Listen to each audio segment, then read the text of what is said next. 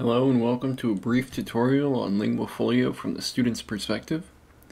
Uh, today we'll be going over things like uploading evidence and first time logging in and maybe a few other things along the way. So we're going to log in. We created uh, the Drew student account in the teacher's per perspective tutorial um, and for the most part students will have their accounts created by the teacher. So we're just going to go ahead and log in right away. The first time anyone logs in as a student, you'll be prompted with this information. Feel free to read it when you would like.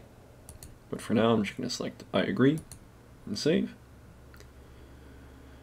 And here we can see I don't have a whole lot going on.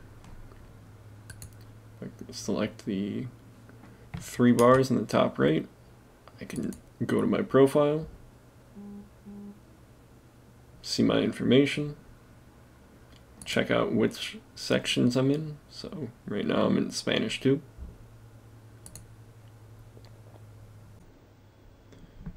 Now that we're back on the main page, we're able to upload evidence. So for this scenario, we're going to upload video evidence.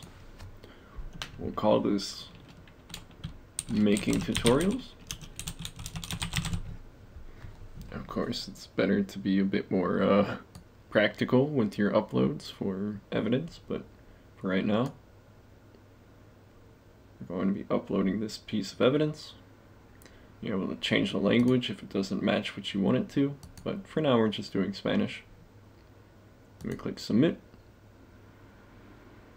And then you want to give it a moment to upload the evidence.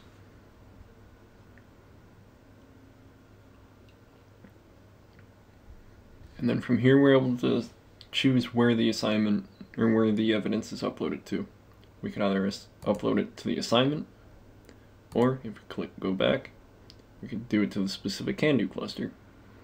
So for now, we'll upload it to the CanDo cluster. Uh, you get to choose which type of evidence is shown. Uh, this is based on what the teacher selects as far as what um, CanDo types are available. We only selected the interpersonal communication spe uh, about speaking and listening, However, you could also have writing, you could have cultural interaction, and a bunch of other potential options. But that is all based on what the teacher assigns in the can-do statement. Uh, it's not so much based on what the student generally wants. And then, much like what we were talking about before, we select novice.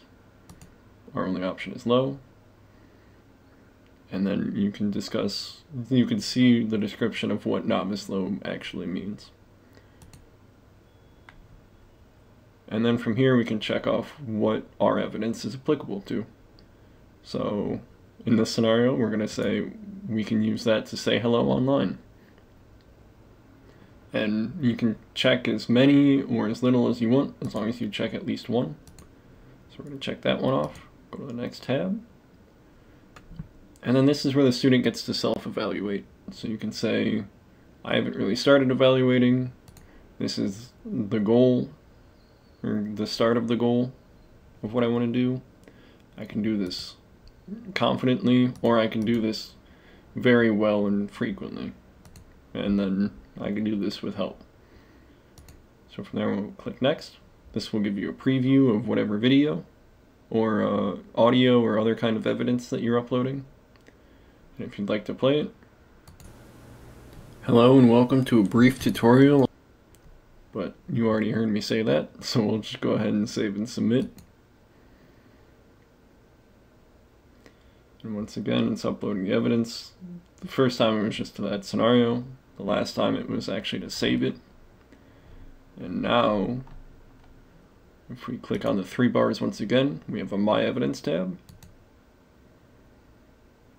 Once that loads up, we're able to see our evidence in the history. As a student, we're even able to add a reflection. So, say a couple weeks go by and you look at your older evidence, you can say, uh, I've improved a lot since this. Click the review button, and then we can say we improved.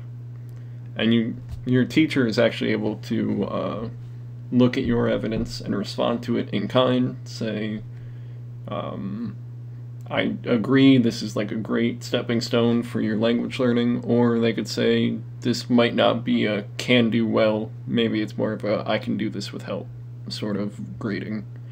And that's how the teacher can help guide the students. And as we can see, uh, we have two kinds of evidence the um, document text evidence, which we can see if we click Oh, I excluded that one. And now we can only see our document uploads because ah, that was a PDF upload. Same thing here, we're looking for only the videos.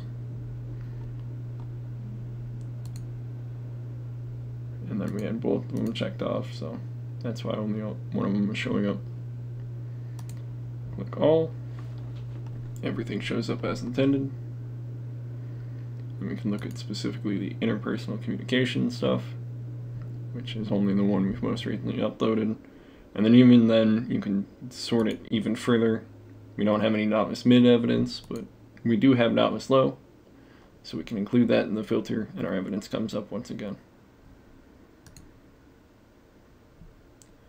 So as you can see, there's quite a lot of flexibility with student upload and personal review. There's also this My Proficiency Overview, which we have further tutorials about on the LFO network page under Technology Tutorials. Um, but this is a very great visual representation of how students are able to interact and understand their growth over time. But there is much more to learn about Linguafolio as you go on, and we have plenty of tutorials that hopefully will help you along your way. So keep growing with Linguafolio and take care.